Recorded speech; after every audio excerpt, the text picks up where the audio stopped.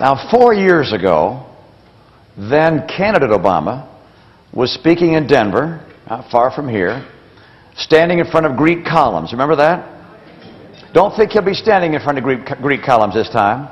Won't want to remind people of Greece. Uh,